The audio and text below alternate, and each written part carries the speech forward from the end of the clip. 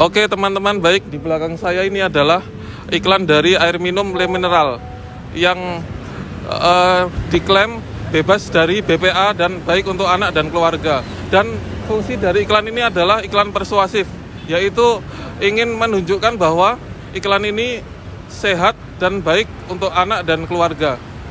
Apakah iklan ini sangat strategis? Ya, menurut saya sangat strategis karena iklan ini bertempatan di Bangjo atau lampu merah yang di mana orang-orang akan berhenti dan menyaksikan iklan sebesar itu.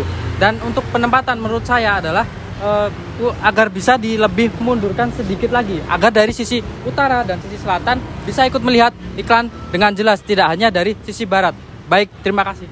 Baik, pesan yang bisa kita dapatkan dari iklan ini adalah, adalah bebas BPA baik untuk keluarga dan anak. Pesan ini sangat-sangat mudah dipahami.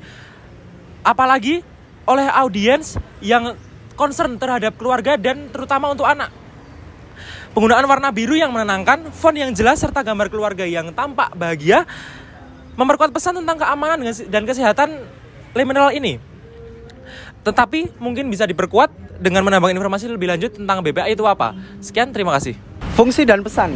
Fungsi persuasif iklan ini selaras dengan cara penyampaian pesan dengan klaim bebas BPA, iklan ini berusaha untuk meyakinkan para audiens untuk bahwasanya produk ini sehat untuk dikonsumsi. Nah, dampak kejelasan iklan ini.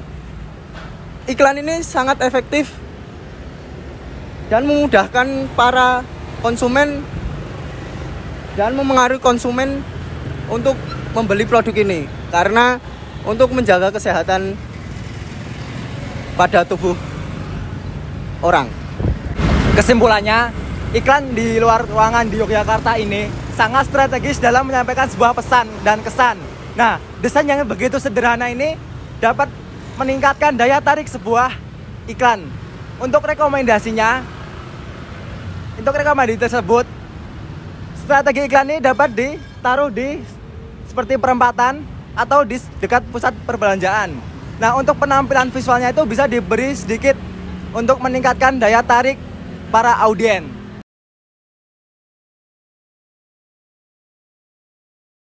Oke teman-teman, di belakang saya ini adalah iklan dari produk IQOS, yaitu pemanas alternatif dari rokok. Dan pesan utama dari iklan ini adalah stay curious, yaitu jangan pernah takut untuk mencoba hal baru. Dan fungsi dari iklan ini adalah persuasif, yaitu mencoba meyakinkan konsumen untuk membeli produk ini yang e, bertujuan untuk me, men, menimbulkan rasa ingin tahu. Untuk penempatan iklan, jika iklan ini ditempatkan di titik dengan lalu lintas tinggi atau dekat area yang sering dilalui oleh orang dewasa, maka penempatan iklan tersebut bisa dianggap strategis karena produk ini diperuntukkan untuk orang yang sudah berumur 21 tahun ke atas. Rekomendasi penempatan sebaiknya ditempatkan di area-area yang dilalui oleh orang banyak orang dewasa seperti kawasan perkantoran atau pusat kota agar sesuai dengan target demografis. Sekian, terima kasih. Ciao. Baik, pesan Curious dapat membangun rasa ingin tahu, namun tidak secara eksplisit menjelaskan bahwa ini adalah pro produk alternatif tembakau ini mungkin kurang jelas bagi orang yang tidak memahami apa itu IQOS sebelumnya. Penggunaan warna biru yang mencolok dan font yang besar cukup menarik perhatian. Namun tidak namun pesan tidak ada kata terlambat untuk mencoba hal baru tidak cukup informatif bagi audiens yang tidak mengenal IQOS sebelumnya. Mungkin penambahan kata kunci yang lebih eksplisit tentang pemanas tembakau dapat membantu. Sekian, terima kasih. Ya, fungsi dan pesan dari iklan ini ya. Fungsi persuasif iklan ini kurang. Sepenuhnya didukung oleh pesan yang disampaikan. Slogan stay curious mungkin memicu rasa ingin tahu. Namun kejelasan bahwa ini adalah produk tembakau alternatif tidak langsung disampaikan sehingga fungsi persuasifnya agak berkurang dan dampak kejelasan dari iklan ini kurang efektif untuk menarik target konsumen. Penjelasan lebih eksplisit mungkin dapat meningkatkan daya tarik produk ini. Iklan ini dari segi visual sudah cukup menarik, tetapi dalam hal kejelasan ini begitu kurang. Nah, produk Style Curious ini menampilkan produk tentang tembakau alternatif.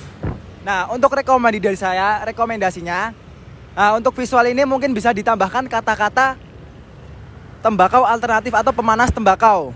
Nah, untuk penempatannya itu bisa ditempatkan di tempat orang dewasa atau perkantoran. Nah, untuk lebih memungkinkan para audien atau pembeli yang sudah mencakup umur. Mungkin itu saja.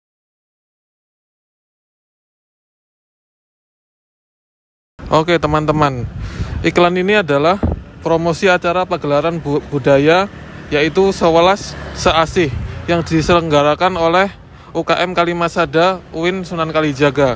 Dan fungsi dari iklan ini adalah informatif dan persuatif, yaitu bertujuan untuk memberitahu masyarakat tentang acara budaya dan mengajak mereka untuk hadir. Apakah iklan ini sangat strategis? Ya. Jika dipasang di lingkungan kampus atau sekitar UIN Sunan Kali- Kalijaga Yogyakarta, maka iklan ini cukup strategis karena target audiensnya kemungkinan besar adalah mahasiswa masyarakat UIN Sunan Kalijaga yang tertarik dengan seni dan budaya tradisional. Untuk penempatannya, mungkin selain di lingkungan kampus, iklan ini dapat dipasang di area publik yang sering dilewati warga lokal atau wisatawan yang tertarik dengan acara budaya. Misalnya di tempat wisata, pusat budaya, atau media sosial kampus. Ciao. Pesan yang disampaikan cukup jelas dengan rincian acara, waktu, tempat, dan konten pertunjukan yang mencakup pandangan dan tari tradisional. Elemen visual pada angka 11 sangat menarik karena mengandung ilustrasi budaya yang sangat kental dengan tema acara, kombinasi warna, dan tipografi yang digunakan menambah daya tarik visual. Sementara informasi penting lainnya ditulis di bagian bawah. Sekian, terima kasih. Fungsi informatif dan persuasif iklan ini berhasil tercapai dengan baik. Kejelasan isi dan tampilan visualnya menarik para audien untuk membaca dan memberikan membantu mengetahui apa yang diharapkan pa- pada pergelaran ini. Nah, kesimpulan yang dapat diambil dari iklan ini, iklan ini sangat efektif dalam menarik perhatian para audien karena visualnya yang begitu kebudayaan dan juga sangat jelas dalam memberikan sebuah informasi. Nah, UKM ini atau iklan ini bertujuan untuk memberikan para audien yang tertarik pada kebudayaan atau seni-seni tradisi. Nah, juga rekomendasi dari saya untuk bisa memperluas jangkauannya ini bisa dengan bergabung atau join dengan UKM-UKM lain yang terkait dengan budaya. Lalu juga bisa menggunakan medsos seperti YouTube, Instagram, atau TikTok. Nah, ini bisa digunakan agar audien yang dari luar Yogyakarta atau mana pun bisa bergabung kemari. Nah, mungkin itu saja, cukup sekian.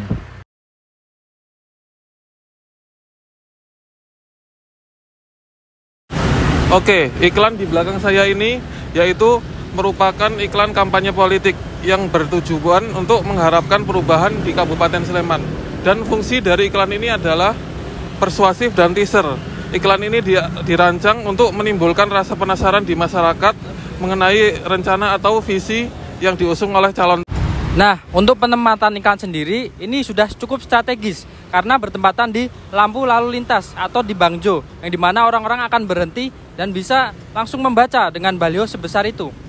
Dan rekomendasi untuk penempatannya menurut saya ini sudah deal karena ini bersifat singkat dan to the point sehingga cocok bagi orang yang hanya mempunyai sedikit waktu untuk membaca seperti pengendara atau pejalan kaki. Baik, sekian, terima kasih. Pesan yang disampaikan oleh iklan ini jelas namun ambigu meskipun tujuan iklan tampaknya untuk membangun Sleman lebih maju belum ada detail spesifik tentang apa yang diinginkan atau bagaimana perubahan itu akan dicapai desainnya sederhana menonjol dan di- di- dan di- didominasi warna merah dan putih hal ini memudahkan pesan utama untuk terlihat namun mungkin dapat menimbulkan kebingungan ke- kebingungan an- tanpa ada informasi tambahan sekian terima kasih Fungsi dan pesan. Sebagai teaser, iklan ini berhasil membangun antisipasi, fungsi persuasif, dan teaser terpenuhi dengan baik. Meskipun kurangnya detail mungkin akan menimbulkan pertanyaan di audiens. Dampak kejelasan, ambiguitas dalam iklan ini dapat menimbulkan rasa penasaran yang mendorong masyarakat untuk mencari tahu lebih lanjut tentang makna atau program di balik iklan tersebut. Kesimpulannya, iklan ini dapat menumbuhkan rasa ingin tahu dan menambah harapan pada masyarakat. Nah, pada kata baru ini konteksnya lebih ke politik. Lalu saran dari saya bisa menambahkan beberapa informasi seperti situs web untuk memberikan para audien yang tertarik untuk informasi yang lebih lanjut. Lalu bisa memberikan seperti kampanye yang terarah untuk memberikan visi misi yang lebih jelas. Mungkin cukup sekian. Fungsi iklan ini bertujuan untuk menginformasikan dan menarik minat mahasiswa UIN Sunan Kalijaga Yogyakarta untuk bergabung dalam resimen mahasiswa pada program Yuda tersebut. Melalui program rekrutmen ini, mahasiswa diajak untuk mengikuti berbagai pelatihan yang mendukung pengembangan kemampuan seperti latihan menebak, survival, search and rescue, dan lain-lain. Kejelasan isi pesan yang ada di iklan ini ialah isi iklan cukup jelas mencantumkan persyaratan, tanggal pendaftaran, kontak yang bisa dihubungi, dan informasi terkait kegiatan yang akan diberikan. Contohnya ada persyaratannya adalah warga negara Indonesia, dan pengembangan skillnya ada latihan menembak dan lain-lain, dan pendidikan berjenjangnya yaitu adalah pradiksar. Tata letak yang ada di iklan ini sangat rapi, yang dapat membantu kejelasan isi iklan. Terima kasih. Kolerasi antara fungsi iklan dan kejelasan pesan. Nah, di antara kedua ini pesan yang disampaikan sangat relevan untuk bagi calon pendaftar yang telah disusun dengan baik sehingga memudahkan mahasiswa memahami persyaratan dan keuntungan bergabung dengan Menwa. Lalu kesimpulan dan saran dari saya atau rekomendasi secara keseluruhan iklan efektif dalam mencapai tujuannya. Namun beberapa saran perbaikan dalam hal yang dapat diterapkan seperti font-font ataupun permindaian QR yang lebih besar agar lebih mudah diakses, serta ikhlas ini dapat ditempatkan di area kampus yang lebih terjangkau oleh mahasiswa.